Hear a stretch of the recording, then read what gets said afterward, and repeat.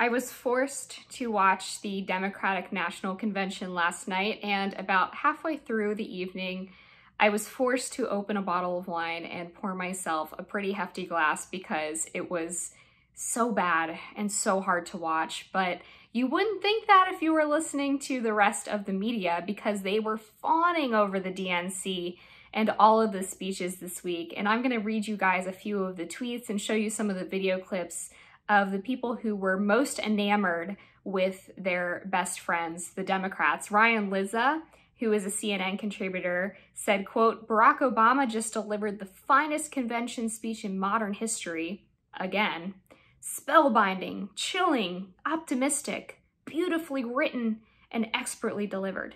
Incredible moment. This has uh, tinges of Chris Matthews' old thrill up the leg comment just threaded through. Uh, it's really sickening. I mean, you can just really see this guy like sitting behind his computer, just quivering with excitement watching Obama speak. Rachel Maddow also responded to Obama's address in a similar fashion, saying that it, quote, slayed me.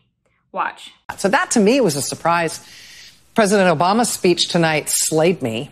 Um, I'm sure people have different opinions about it because it's a different kind of thing from him, but his warnings that we could potentially be at the end of American democracy um, scared me and I found upsetting. There were plenty of other similar takes. The New York Times' Frank Bruni wrote, quote, the immediate buildup to Kamala Harris's climactic appearance with a montage of family members and other Americans who palpable elation over her selection as the Democratic vice presidential nominee beautifully personalized her and commuted, communicated the excitement of her history-making ascent.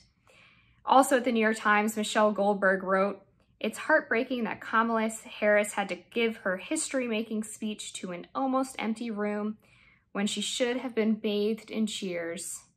And CNN's Jake Tapper, who everyone likes to hold up as this beacon of objective journalism, which is a total lie, said one of these moments that is, it was one of these moments that is going to change people's lives. I found all of this posturing from the media to be really funny because when I watched the DNC, I was really struck by just how bizarre the whole thing was. Uh, there was really no central message at all.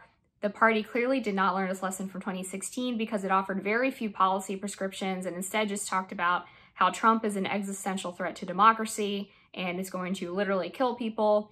Of course, they had all of this fake wokeness where they had BLM alphabet letters behind Elizabeth Warren as she spoke, and they had these panels on transgender rights during the day, which the media actually refused to show. They only showed the primetime portions of the DNC. They had Nancy Pelosi with technical difficulties and her dentures falling out. She actually started giving her speech before the introduction to her speech had concluded. Billy Porter, who is some type of celebrity, was doing his best impression of Blacula while singing a Buffalo Springfield song. Billie Eilish showed up with her hair covering one eye and half dyed green, complaining about how Trump was killing people and sounding really bored as she endorsed Joe Biden. Bill Clinton somehow managed to nab a speaking slot after the Daily Mail published photos of him receiving a massage from one of Jeffrey Epstein's victims. And the list goes on and on and on of all of the weird and, uh, you know, strange and even just old people speaking at the DNC. Um, this is clearly a party that has very few new ideas. And on that Bill Clinton point, CNN actually defended the fact that he was speaking after the Me Too movement and after these photos were published. Um, a guest, Scott Jennings, raised the fact that Bill Clinton, by the left standard, should probably be canceled, considering he's been accused by multiple women of sexual assault. He, of course, had an inappropriate relationship with an intern with a um, very unbalanced power dynamic. And he, again, was busted flying around on Jeffrey Epstein's private jet and getting this massage from one of his victims. But the left, of course, doesn't cancel its own. They protect their own and engage in so much hypocrisy while doing so. Go ahead and watch the CNN panel defend Bill Clinton's speech. Character matters. Ladies and gentlemen, Bill Clinton. I mean, does this make sense to anyone? If you want Republicans to vote for Joe Biden, having Bill Clinton talk about character and oh not having drama how, how in the Oval Office, is that the right this? answer? Okay, this has already been asked and answered decades ago. The point is that Bill Clinton is excellent at explaining stuff, especially the things that matter to everyday people. Oh, like oh, he's excellent jobs. at things. That's Bill true. Clinton, Bill Clinton's administration was an incredible job creator. What I admire about Bill Clinton is that he has acknowledged his wrongdoing. He's apologized. He's tried to, to rebuild his family. And I think apologies don't come as often or as easily uh, from the President White House.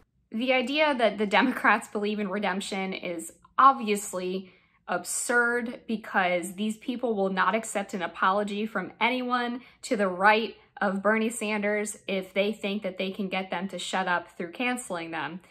The whole problem with cancel culture is that it doesn't offer redemption, that even if you change as a person, even if you apologize, if you grow, that's still not enough for the left. They will dig up things from decades ago and try to destroy you. But of course, there's a different standard for the old Clinton family. What else is new?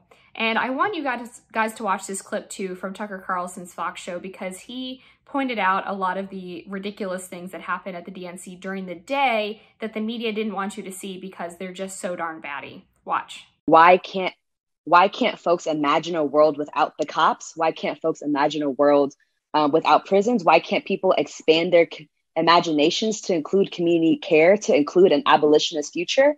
Um, and I'm talking about like for real, for real abolition, not just watered down DNC version of abolition. Um, we're talking about abolishing the police. We're talking about abolishing ICE. We're talking about abolishing prisons.